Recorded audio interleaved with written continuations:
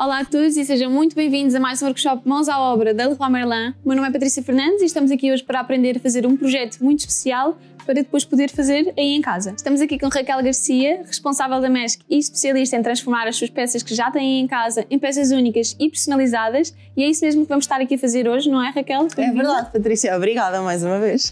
Que tipo de material é que vamos precisar aqui hoje? Então, nós hoje vamos aprender uma alternativa à pintura dos móveis um, e vamos aprender a forrar ou com papel ou com tecido os nossos móveis. E para isso vamos precisar de uma peça para forrar, vamos precisar de cola de madeira, tecido, uh, um rolo, um pincel, um x-ato e uma tesoura. Assim, para começar, por base. Uh, Ia-te pedir se me ajudavas aqui para ser, para ser mais rápido e se me começavas a pôr aqui cola num tabuleirozinho para nós podermos usar depois o rolo e os pincéis, enquanto eu vou estendendo aqui o nosso tecido que vamos usar. Primeiro que tudo, vamos começar por medir um, a nossa caixa, o perímetro da caixa todo, para sabermos qual o comprimento de tecido que vamos precisar. Vamos pôr cola branca aqui, ao longo da nossa marcação, perpendicular ao comprimento do tecido e depois aqui embaixo também um bocadinho. E vamos então pegar aqui no nosso x-ato e na nossa régua de corte. Patrícia, queres ajudar a pôr cola aqui? Deixa tirar aqui o tecido. Então, neste, aqui nesta parte de fora vamos usar o rolo. E pronto, okay. basicamente só tens que espalhar ali e depois ir pondo cola aqui. Vamos fazendo lado a lado, que é para ser mais okay. fácil. Posso? Força. Assim? Assim, espalha bem, tem que ficar homogéneo. Vamos então agora pegar aqui neste lado que nós tínhamos posto, vamos enrolar só assim o tecido, só para ser mais fácil. E tínhamos aqui as nossas marcas, não é? Sim. Isto não cola logo e a, a cola também um, dá para descolar e voltar a colar nos primeiros momentos. Vamos tentar só alinhar assim aqui que é para, não faz mal se não ficar aqui, se ficar um bocadinho de fora, porque lá está, nós temos margem para depois acertar aqui okay. o tecido. É quase até a aresta, é isso? Pronto. Um bocadinho mais que a aresta. Sim. E vamos, com a ajuda aqui da mão, podemos usar também um pano ou um bocado Exato. de tecido. É essa a forma assim, de prevenir para não Sim, ou uma espátula até como se faz com o papel de parede. Pronto, agora cola aqui e vamos repetir este processo para todos, para todos os lados.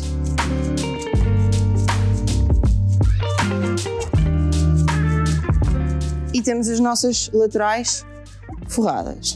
E agora vamos ao próximo passo, que é, que é fazer, forrar aqui para dentro até lá abaixo. E o que vamos fazer é, com o x-ato, vamos fazer um corte pequenino aqui na nossa diagonal. Os cantos não estão tão bonitos como os teus, como é que eu faço? Vejo.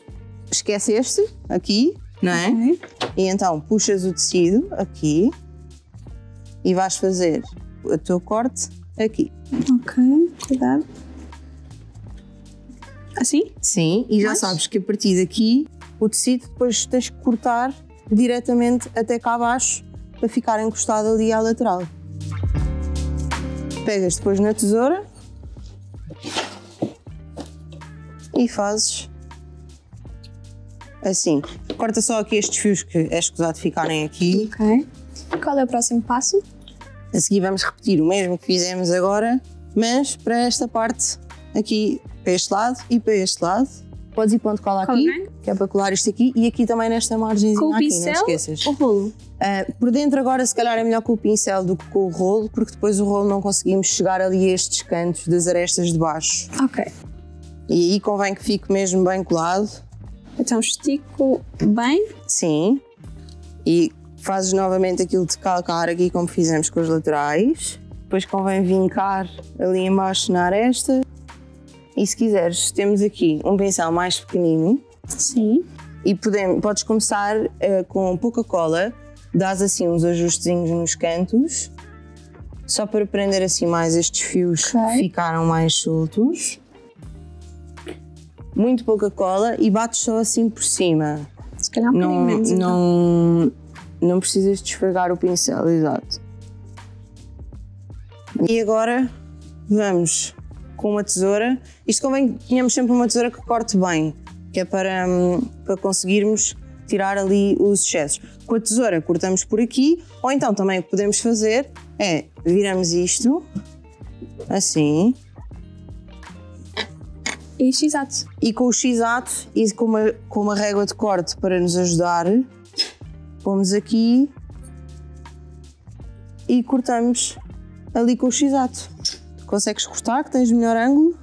Acho Corta que sim. assim, exato, que é para não bater ali. Cuidado com os dedos. Pronto. São um bocadinho perigosos.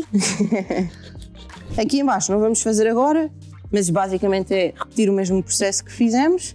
E agora vamos é fazer o fundo para vermos como é que fica. Basicamente, cortamos um cartão que tenha as mesmas medidas do fundo, tirar um milímetrozinho em cada lado só para garantirmos que chega lá abaixo e que não fica preso pelo caminho quando forrarmos, porque vamos ter sempre a espessura também do tecido. E basicamente o que nós temos que fazer aqui é aplicar cola como fizemos nas laterais, com o rolo, e depois colar o tecido, virar para baixo, cortar. Este excesso não se vai ver, vai ser a nossa parte de baixo. Que tapa o outro excesso que deixámos também. Exatamente. E agora chegamos aqui e cola nesta parte toda de baixo. E pronto, vamos aplicar agora o nosso fundo aqui. Tens aí o fundo que já estava forrado. Sim. Este Boa. aqui. Pronto, agora é só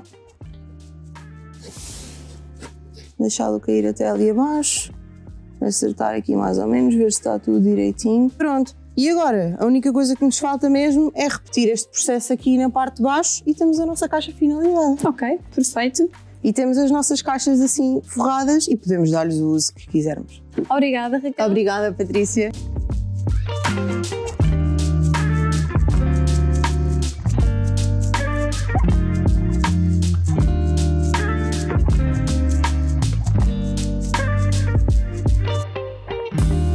Todos os produtos que utilizamos aqui podem encontrá-los em todas as lojas Leroy Merlin e em leroymerlin.pt e se quiserem assistir a mais workshops mãos à obra, podem consultá-las nas nossas plataformas digitais, estão lá todos disponíveis até à data de hoje. Obrigada por terem assistido e até à próxima!